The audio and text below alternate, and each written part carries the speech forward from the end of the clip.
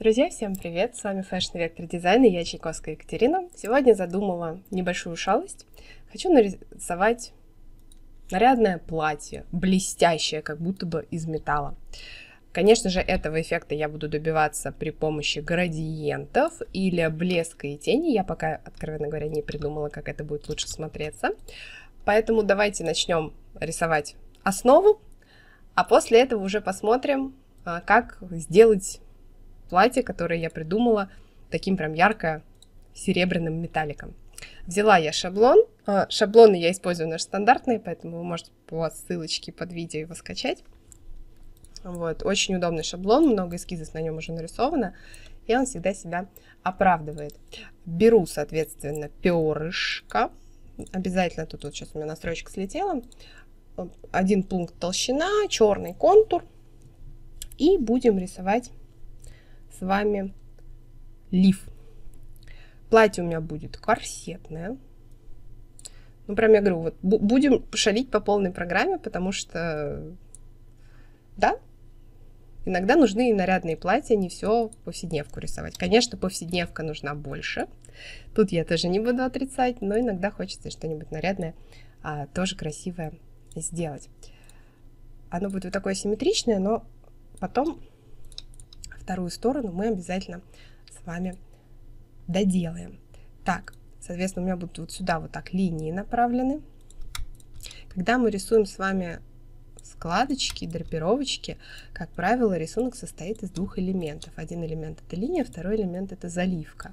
Ну, естественно, нужно использовать именно те элементы, которые вам максимально подходят для того, какая у вас задача. Задачи бывают разные, поэтому универсальной формулы я вам не дам, но вот я нарисовала линии, сделала их треугольными, а именно здесь у меня толстый, здесь тонкий край. Таким образом получается, как будто бы складка расходится а, в никуда. Вот, для меня это в этом эскизе нужно, в этом эскизе важно, потому что здесь будут вот такие классные штучки. И я бы хотела, естественно, чтобы они тут отражались максимально интересно. Добавляю теперь пятновую историю. Пятновая история всегда при рисунке смотрится жутко. К этому нужно просто привыкнуть и не оценивать эскиз на моменте рисунка теней. Потому что ну, сначала мы рисуем с вами их контуром, а потом, естественно, добавим уже непрозрачность к цвету заливки, и будет все очень красиво. Так что не переживайте. Когда у вас эскиз начинает выглядеть вот так, вы потом тени выбираете, Говорите, что мне нужна только заливка. Ужасаетесь. Берете непрозрачность и непрозрачностью это редактируете. Редактируете, получаете то, что нужно. Сейчас я посмотрю, правильно ли линия или нет. Теперь вот эту часть я беру. По центру, у есть центр. Оп.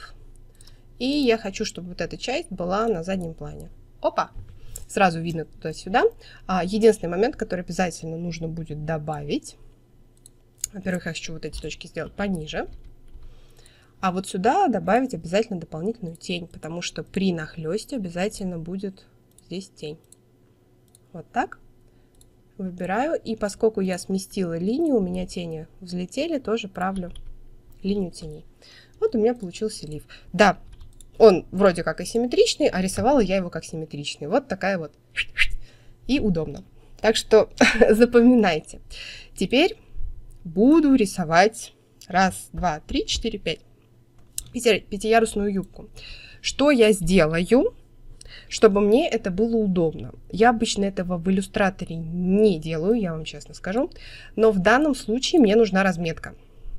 Я беру инструмент карандаш, я беру любой цвет, который меня не раздражает, создаю новый слой, и сейчас я приблизительно сделаю разметку слоев. Что я имею в виду? Мне нужно понимать, какой длины и какой формы мне надо это будет все нарисовать. Вот, поэтому для меня становится принципиально важным нарисовать вот этот вот приблизительно линейный контур того, как у меня будут располагаться слои на юбке, поскольку у меня 5 слоев запланировано, да, я их вот так вот приблизительно а, выстраиваю для того, чтобы понять, правильно или неправильно. Ненавижу карандаш в иллюстраторе совершенно не тот инструмент, но вот так вот приблизительно оно мне нужно. Так, вот эту вот точку мне нужно вот сюда. Сразу выстраиваю объемы. Естественно, сейчас я буду все рисовать нормально. Сейчас я буду по всем линиям выстраивать. Просто смотрю, что оно попадает. Все, попало. Слой этот блокирую. Создаю новый слой. Это просто будет мне подсказка. И я буду рисовать симметрично. Вот. Поэтому это моя подсказочка такая. Цепляться он не будет, этот слой. Я его заблокировала. Так, давайте только цвет возьмем. Вот. Он мне будет помогать. Он моя основа, он мне помогает делать красивые линии. Так. От центра у меня будет вот такая история. Сейчас каждый слой отдельно буду прорабатывать по одним и тем же принципам, немножко набраться терпения, слои копировать не буду, но буду делать их э, симметричными.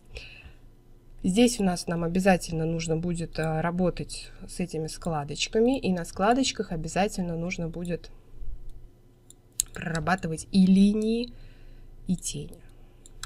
И больше того, вот эти вот внутренние запчасти тоже надо будет обязательно аккуратно нарисовать.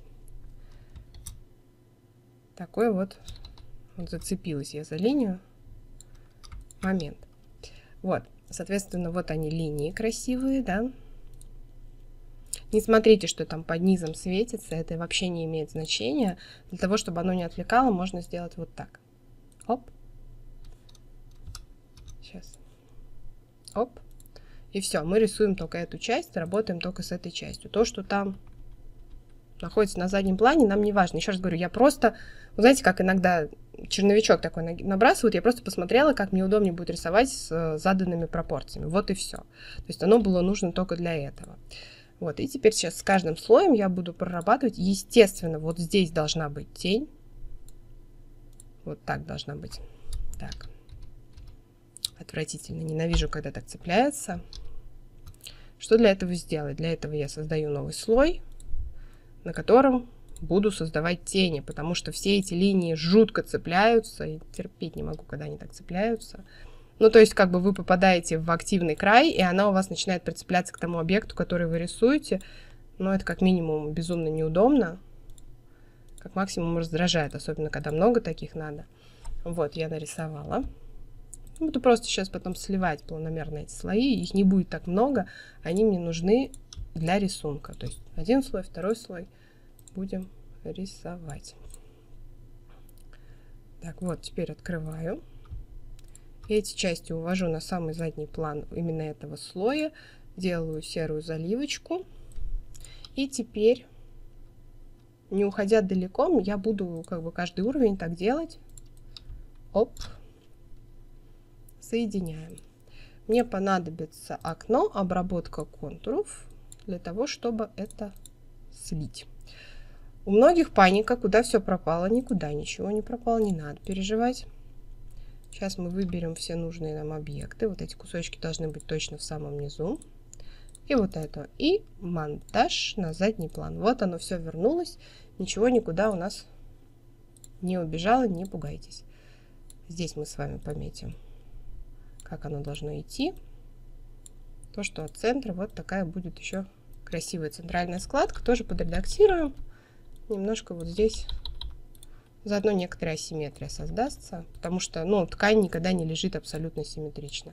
Этого достаточно сложно добиться, и вот так мы немножечко это все подкорректируем.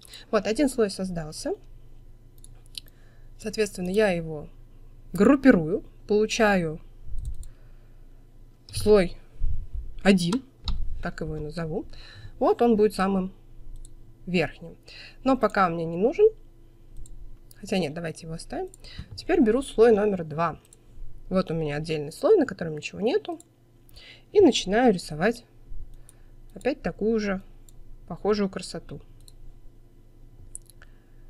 Соответственно, складочки. Специально не дублирую слои, чтобы они не повторялись. И ну, была такая большая э, красота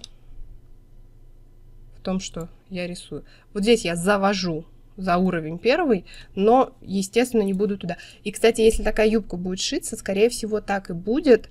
а, что будет подъюбник, на основе которого будет это все крепиться. Это не будет э, каждый слой от самого верха, иначе там такая толщина будет сумасшедшая, просто с ума можно будет зайти. Нет.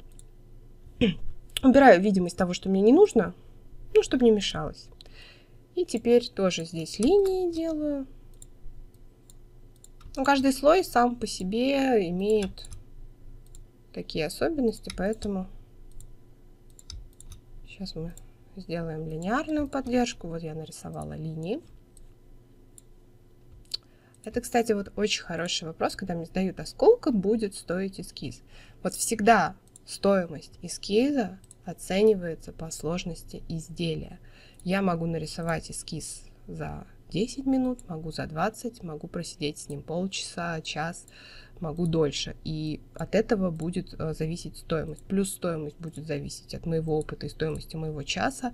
Новички, как правило, берут очень мало, потому что им нужно нарабатывать опыт, а опытные дизайнеры, которые уже хорошо этим всем владеют, естественно, дешево работать не будут. То есть я отучилась в институте, у меня больше 10 лет практики, я это все проработала, Почему я должна свой труд продавать дешево, учитывая, что я еще плачу за программное обеспечение?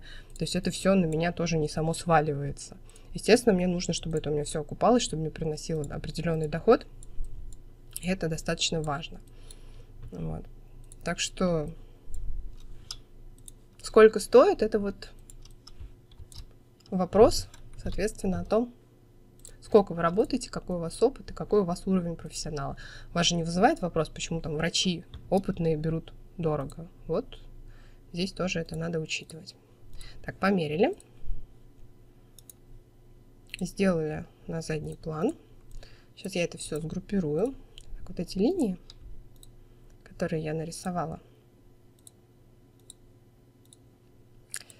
они у меня единички ну, по толщине один пункт. А мне нужно, чтобы они были потоньше, 0,5. Вот. Хотя можно попробовать единички оставить. Давайте попробую оставить единички. Так, теперь я вот это все вместе сгруппировываю. И тот слой, на который сгруппировала, называю 2. Вот смотрите, 1, 2.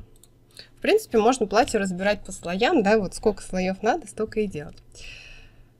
Так, давайте прибегнем к некой стратегической хитрости. Мы возьмем первый слой. Мы его скопируем. И поставим его вместо третьего слоя.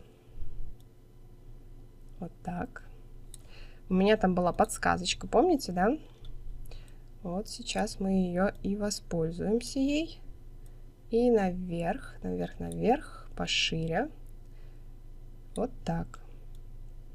Ну, то есть ну, нельзя же совсем прям. Ну, можно, конечно, прям совсем каждый слой прорисовать, но мне кажется, это будет не совсем здорово. Так, это слой номер три. Теперь рисуем копию второго слоя. Ctrl-C. Так, Ctrl-B. Вот, он будет здесь. И, соответственно, мы его тоже пошире, пошире. И вот так. Вот. И еще раз Ctrl-C. Так, это у нас 4. И еще один слой. Он мне нужен вот здесь, пятый. Ctrl-B. Вот. Ускорила процесс рисования. Ну, по крайней мере, два уникальных слоя у меня есть. Можно, конечно, каждый уникально нарисовать. Но, опять же, зависит от того, хотите вы так сильно морочиться или нет. Вот. Что можно добавить до объема? Можно добавить дополнительные тени, но мне кажется, само по себе а, платье сформировалось очень даже неплохо. Так. Сейчас мы его вставим вот сюда. Вот, и это слой номер 5. Так что вот платье разложено у меня по слоям. Почему? Потому что мне так было удобнее. Вот эту вот черновик, на котором было нарисовано зелеными линиями, я удаляю. Он свою роль сыграл. Я могу теперь это все платье вместе сгруппировать. Да, все слои. Сейчас все там разблокировалось, да? Вот, все слои вместе сгруппировать. Вот у меня получилось единое платье. Большое красивое платье э, принцессы. Единственное, я бы, наверное, вот этот слой чуть-чуть... И вот здесь, кстати, уже можно играться с э, пропорциями. Куда вы, как вы потянете какой слой, пожалуйста, тут вот не ограничено. Вплоть до того, что вы можете постоянно там... Мне нужно платье покороче, да, вы вошли, хлоп, два убрали, у вас платье покороче, там, э, три слоя убрали и так далее. То есть это универсальный такой конструктор у нас получился. Давайте лишние слои я уберу. Они были просто рабочими, они нам очень нужны были при моменте рисования. Сейчас у меня достаточно два слоя, на котором у меня находится шаблон и на котором у меня находится непосредственно само платье. Вот такие вот хитрости маленькие, которые очень сильно упрощают жизнь дизайнеру, не влияют на качество работы, но очень упрощают жизнь дизайнеру. Так, ну, теперь я буду баловаться, откровенно, сразу говорю об этом я буду делать заливку цветом. Хочу, чтобы все у меня было серебряное платье было. Как это сделать? Ну, во-первых, есть такая маленькая тонкая хитрость. Серебро хорошо получается слегка голубоватой гаммой. Вот прям слегка. Такая маленькая хитрюлечка есть. Будет цвет смотреться более холодным, более серебряным. Теперь заливаю цвет основы. Поскольку у нас уже есть тени, то, естественно, оно сразу все хлоп и красиво себя ведет. Вот. Сейчас мы двойным кликом сюда войдем. Я бы сделала чуть поярче. Сколько там? 26. Вот сейчас мы везде на 26 перейдем, чтобы было более четко эти тени. Мне кажется, можно даже чуть сильнее на 28, если не на 30. Угу. Ну да, я думаю, что можно на 30 перейти будет. Чем ниже сейчас. Нет, мне нужно тени, пожалуйста, только вот у этой части. Вошла в режим изоляции, выбрала и сюда добила 30. Так, хорошо. Сюда. Сюда тоже 30. Это я непрозрачность теней регулирую. Двойной клик. Выбрала именно группу вот этого нижнего слоя. И сюда тоже тридцаточку. Хорошо. Вот такая красота. Уже все смотрится вполне неплохо. Так, что я вижу, чтобы я поправила вот эти части, вот эти вот малышики? Должны быть более темные. Сейчас они очень светлые, вот эти вот малышковые штучки. Поскольку это внутренняя часть, они должны быть более темными. Это обязательно. Либо будет ощущение, что у вас там внутри ну, более светлая подкладка. А вам оно надо, чтобы у вас там была более светлая подкладка? Если надо, то оставляйте. Если не надо, то корректируем цвет. И здесь, как обычно, сначала один цвет надо прокрасить, потом все остальные подтянутся. Вот. Но, естественно, эффекта серебра я не вижу. Поэтому на всю эту красоту мы сейчас еще будем делать блики. Создаю новый слой, чтобы опять же ничего не цеплялось. А блики у нас какие будут? Блики у нас будут прозрачно-бело-серебряные. Есть вот здесь такой градиент, у которого можно настроить прозрачность. Соответственно, вот сюда. И вот у этой части мы будем настраивать непрозрачность. Вот так. И это все будет делать без контура. Вот. И будут такие штуки у нас отображаться. Потом мы им еще дополнительно настроим всякие мягкие края и прочую ерунду. Так что давайте мы сейчас это сделаем. Еще потом бликов добавим ярко-белых чтобы прямо оно все у нас было такое вот разненькое. Так. Здесь, естественно, большой такое вот пятно. Здесь тоже. Блики уже не симметрично рисую, но это симметричных бликов вряд ли вы добьетесь когда-либо, поэтому здесь нам нужно с вами показать, как оно действительно бликует. Сразу вот этим полупрозрачным градиентиком. Э, Еще раз напоминаю, я на отдельном слое с этим работаю, поэтому основа у меня не цепляется. И здесь э, сверху, опять же, у нас же юбка нависает, поэтому там этого видно не будет. Вот так. Вот так. То есть э, достиг, достигнуть эффекта вот какого-то серебра, золота и так далее, это уже за счет игры светотени, градиентных заливок и так далее. То есть это по-другому рисунок не достигается такого момента. Вот сейчас мы это все сделаем. То есть если бы я просто хотела однотонное платье, я бы вот этого делать не стала. А если я хочу какой-то дополнительный эффект, то вот тратим время на красоту. Так. А мне вот это место не нравится. Мне вот это место не нравится. А вот это лишнее. Спасибо. Увидела, поправила, пошла дальше. Пришел, увидел, победил. Так, мы рисовали вот так. И хочу также и продолжить. Дело в том, что программа запоминает, какой у вас был последний объект и рисует со свойствами последнего объекта. Что мне, собственно говоря, и нужно, поэтому я напомнила ей э, пипеткой, какой у меня был последний объект, продолжила рисовать. Здесь вот тоже есть неприятность, ну, потому что мы дублировали одно и то же. При слиянии вот здесь появились лишние точки, которые просто надо удалить. Ого! Ого! Угу. И слой все мои действия происходят на отдельном слое. Давайте посмотрим. И тоже вот э, такой момент, что кажется достаточно грубым, а мы сейчас его сделаем более мягким, все эти объекты, которые я тут нарисовала. Этого тоже эффекта можно добиться. Смотрим. Вот, уже, то есть, такой как бы эффект блеска присутствует. Хочу, чтобы он был более мягкий. Эффект размытие по Гауссу. Что дает размытие по Гауссу? Оно нам сейчас помоет контур того, что мы с вами нарисовали.